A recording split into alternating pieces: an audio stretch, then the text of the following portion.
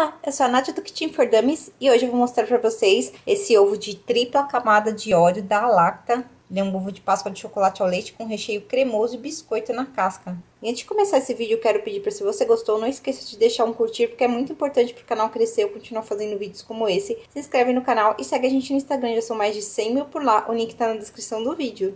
Aqui estão os ingredientes e a informação nutricional. Ele vem aqui protegidinho abrir aqui pra vocês verem, ó. Eu adoro ovo com relevo, assim, eu acho que deixa bem mais gostoso do que a casca inteira lisa, sabe? Olha que delícia por dentro. Gente, olha essa cremosidade e os pedacinhos de óleo. Meu Deus do céu. Olha só esse recheio, gente, que demais. Bem cremosinho. Cortei mais um pedacinho pra vocês verem.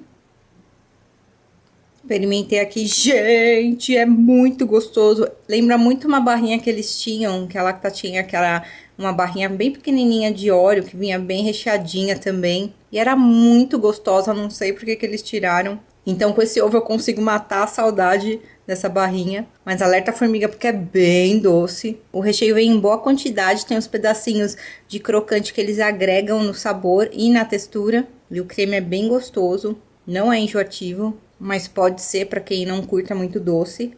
O chocolate da casca também tá bem gostoso e eu amei o conjunto da obra. Mas Lacta, por favor, volte com as barrinhas do Oreo. Tô com saudade.